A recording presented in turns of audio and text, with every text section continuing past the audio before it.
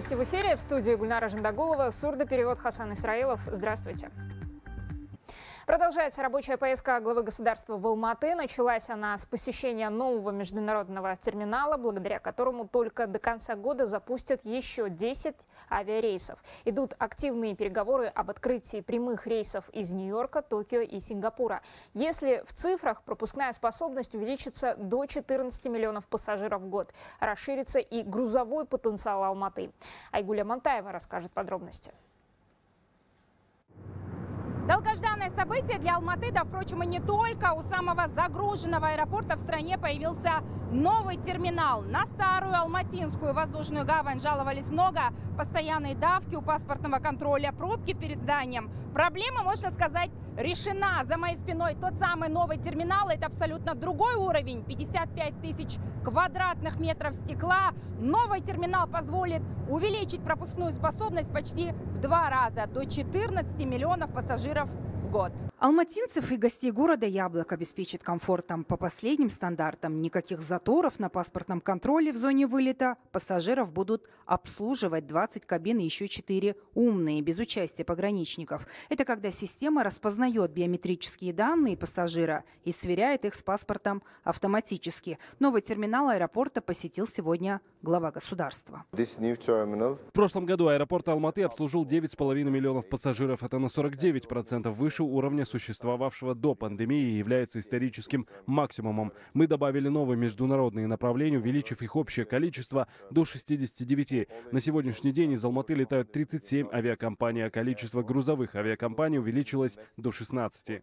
Новый терминал аэропорта станет не только самым крупным в Центральной Азии, но и первым сертифицированным по программе Excellence in Design for Greater Efficiencies. Проще говоря, терминал полностью зеленый с использованием экологически чистых технологий. Для инвесторов этот пункт при решении финансирования был одним из ключевых. У нас в ЕБРР очень важное внимание уделяется устойчивости инфраструктуры, да?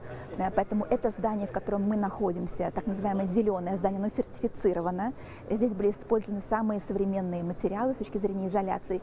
И э, как бы инвестор проекта TAF и APOTS, они, конечно, использовали наилучшие практики по энергоэффективности, по эффективности воды. Кстати, ответ аэропорта на главную фобию алматинцев по поводу сейсмоустойчивости здания. Современные стандарты, использованные при строительстве нового терминала, позволят воздушной гавани выдержать землетрясение магнитудой до 10 баллов.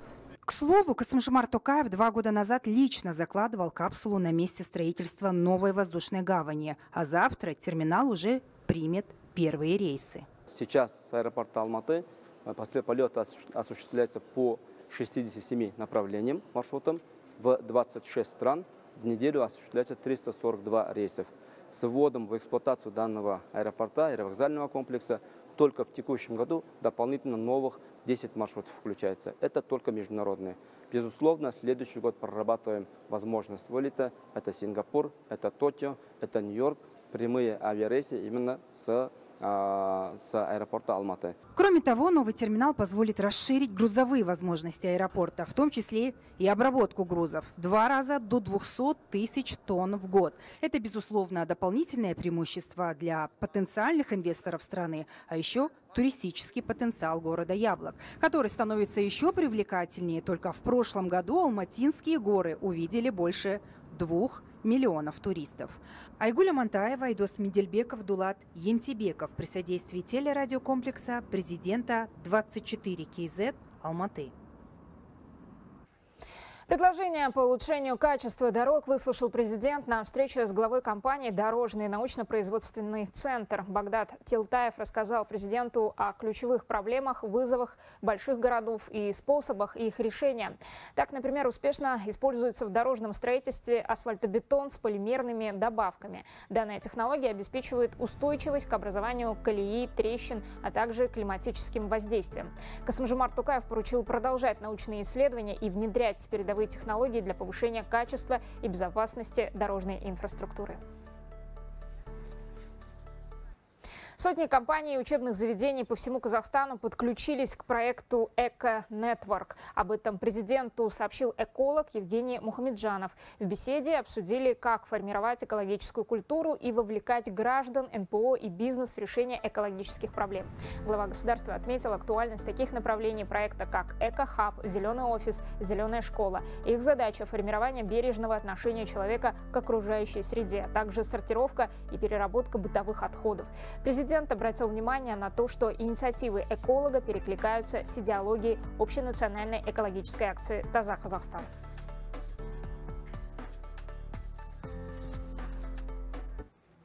Десять ученых из Алматы сегодня стали обладателями квартир. Жилищные сертификаты в торжественной обстановке они получили из рук президента. Глава государства рассказала им о том, каким образом будут в стране продвигать науку. Это гранты и международные стажировки для 500 ученых.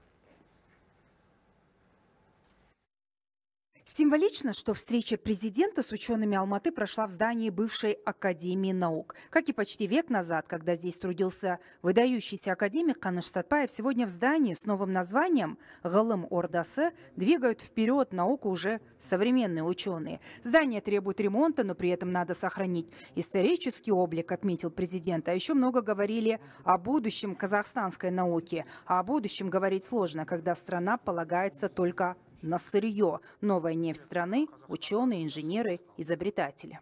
Наш стратегический курс нацелен на поступательное укрепление нашей государственности и повышение благополучия народа. Важно, чтобы все граждане, в особенности молодежь, хорошо понимали это и не оставались в стороне от реформ. Именно новому поколению предстоит включиться в процесс преобразования и в полной мере ощутить плоды проводимых в нашей стране реформ. Науку нужно продвигать в первую очередь на законодательном уровне. Важный и долгожданный документ – законопроект о науке и технологической политике. Вчера Сенат одобрил его в первом чтении. Усовершенствовать систему управления наукой и обеспечить социальную поддержку ученых. Пункты, на которых президент остановился отдельно. Бюджет науки растет, количество грантов на подготовку кадров за последние годы увеличилось в полтора раза. В Казахстане действуют 12 филиалов престижных вузов мира. Активно проводят научные научные исследования, открываются технологические парки и инженерные центры. Ежегодно 500 ученых проходят стажировку за рубежом. При этом ориентироваться на партнерство и взаимопонимание, а не создавать стены отчуждения и недоверия. Другое заявление президента. В мире, где не затухают конфликты и войны, казахстанская созидательная политика – тернистый путь, где без терпения и твердости не обойтись. Однако страна продолжит делать выбор в пользу дипломатии и диалога. Мы находимся сейчас в процессе реализации всесторонних реформ внутри страны, а также проводим сбалансированную внешнюю политику, исходя из наших национальных интересов, а не из соображений какой-либо политической конъюнктуры или в угоду пристрастным мнениям со стороны. Для меня, как главы государства, на первом месте стоят ценности нашей независимости, благополучие народа и поступательное развитие страны.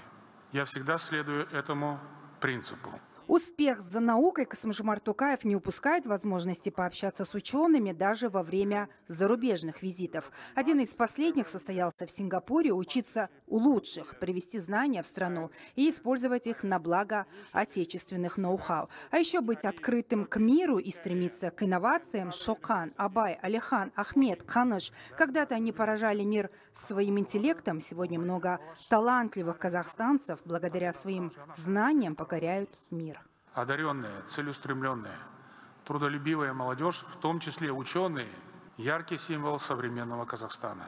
Молодые высокообразованные граждане являются главным капиталом нашей нации и ключевым двигателем позитивных перемен в обществе. Во все времена наш народ был открыт ко всему новому, стремился к знаниям, творчеству и созиданию, превозносил ценности единства и солидарности. Сегодня высокий уровень образования – прогрессивное мышление, гражданская ответственность, уникальное поле язычия и культурное многообразие являются базовыми составляющими нашей национальной идентичности и ключевыми элементами так называемой казахской мягкой силы. Исходить из опережающей, а не догоняющей модели развития, иначе это будет вечная гонка за тенью. Важно в полной мере использовать все имеющиеся ресурсы и конкурентные преимущества, подчеркнул президент. В условиях глобальной научно-технической революции резко возрастает роль ученых, интеллектуалов. Однако даже самые богатые страны не могут себе позволить проводить исследования на высоком уровне во всех сферах. Наши ученые не должны ограничиваться сугубо теоретическими изысканиями в тиши кабинетов, хотя это крайне важно. Надо выходить в поле, заниматься прикладными исследованиями. Нам нужны инновационные проекты и прорывные решения в критически важных для нашей экономики отраслях. В первую очередь следует уделить внимание дальнейшей цифровизации всех процессов и сфер жизни. Здесь ключевое значение имеет синергия усилий молодых ученых, инженеров и предпринимателей. Экономика знаний в корне поменяла все прежние представления о высокотехнологичном бизнесе. Сейчас главным преимуществом является не огромный капитал или большой штат сотрудников, а способность генерировать уникальные идеи и быстро реализовывать их на практике. Другая амбициозная задача – стать одним из крупнейших цифровых хабов Евразии, ускорить повсеместное внедрение технологий искусственного интеллекта. По прогнозам экспертов, уже к 2030 году вклад данной технологии в глобальную экономику достигнет 16 триллионов долларов. Чтобы поймать свою волну, нужно скорее создать экосистему искусственного интеллекта, заявил президент. Айгуля Мантаева, Айдос Медельбеков, Дулат Янтибеков при содействии телерадиокомплекса президента 24 КЗ Алматы.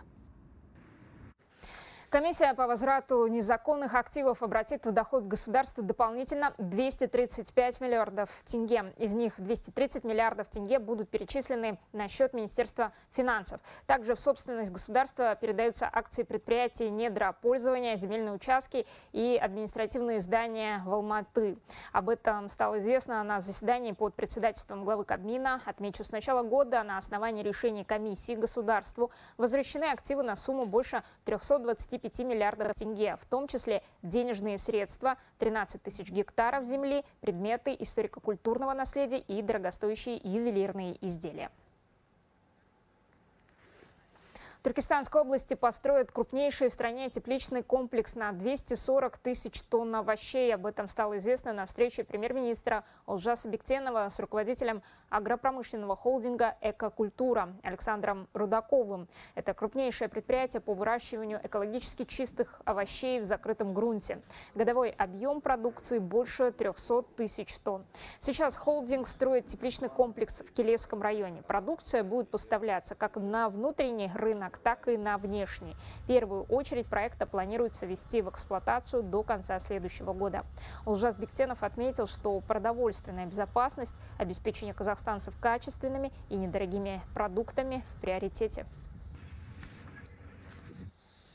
Численность сайгаков в Казахстане превысила 2 миллиона 800 тысяч особей. Самой многочисленной популяцией признали Уральскую. Следом идут Бетпак Долинская и Устюртская. Об этом сообщили в пресс-службе Комитета лесного хозяйства и животного мира. Авиаучет парнокопытных провели инспекторы ведомства вместе со специалистами Казахстанской ассоциации сохранения биоразнообразия. По их подсчетам, количество всех трех популяций в сравнении с прошлым годом выросло почти наполовину. В Шимкенте почтили память жертв политических репрессий и голода. Горожане возложили цветы к мемориалу Хасирет.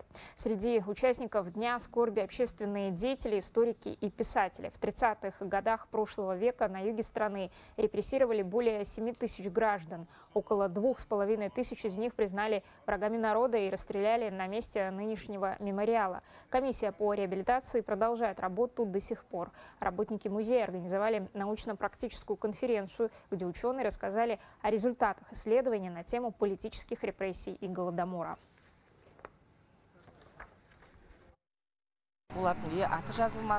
Имена расстрелянных здесь людей не установлены. После обнаружения останки перезахоронили. Мы организовали экскурсии, уроки, встречи и круглые столы, просмотр фильма о жертвах репрессий, чтобы подрастающее поколение помнило эту трагическую страницу истории. Больше полутора тысяч граждан получили бесплатную юридическую помощь в Алматы в рамках республиканской акции «Народный юрист». Представители государственных органов, а также квалифицированные юристы консультировали жителей по различным вопросам.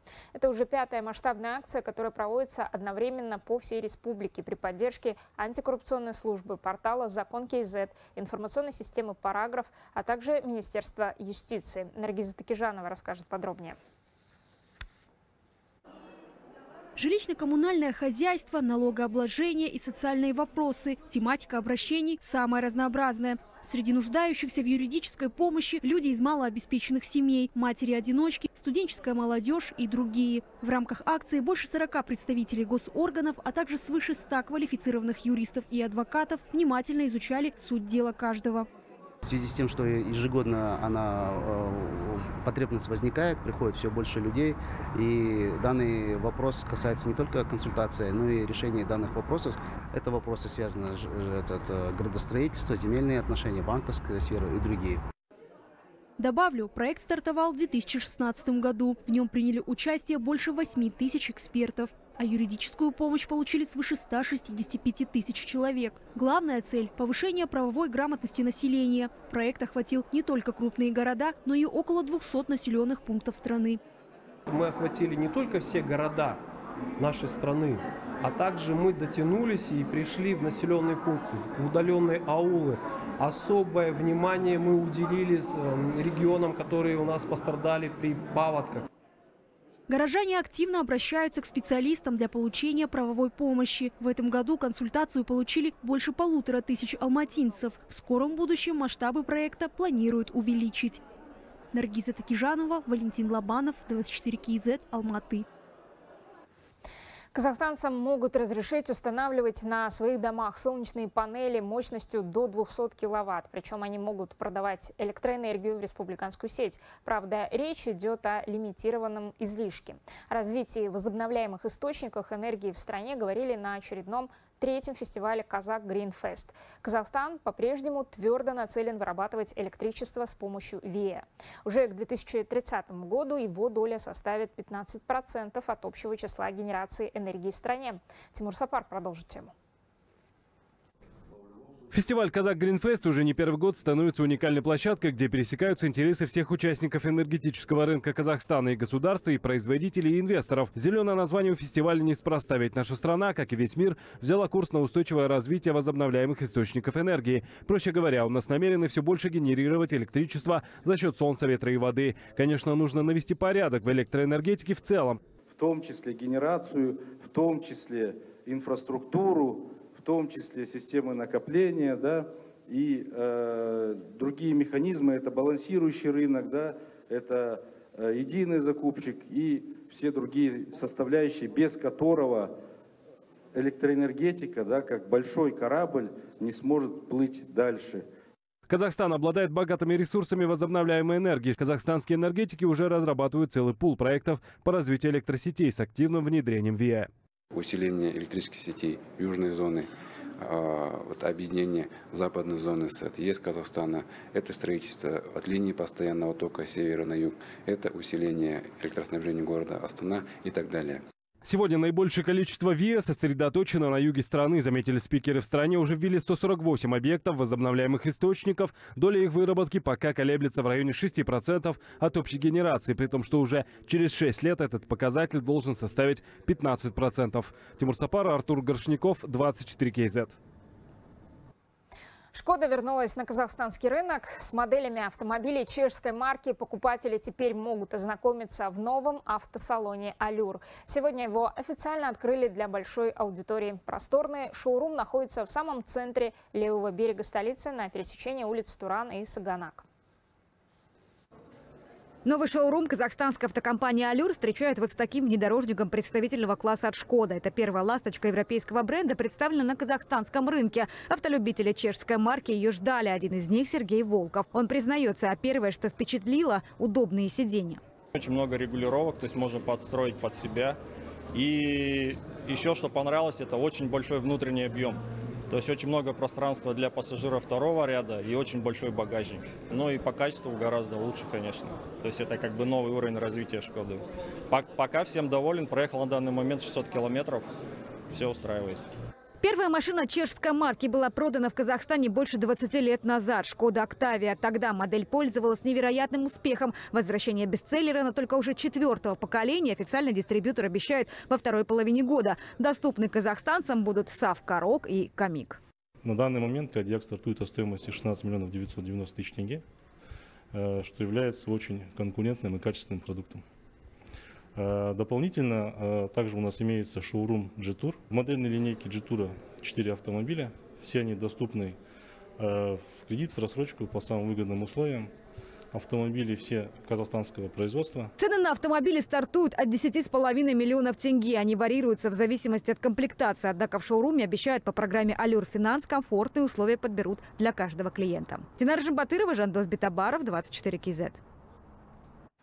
Новые решения промышленной, цифровой и интеллектуальной трансформации, а также серию флагманских продуктов представила компания Huawei. В Астане прошла заключительная часть одного из ключевых мероприятий в мире технологий и коммерции Huawei Roadshow.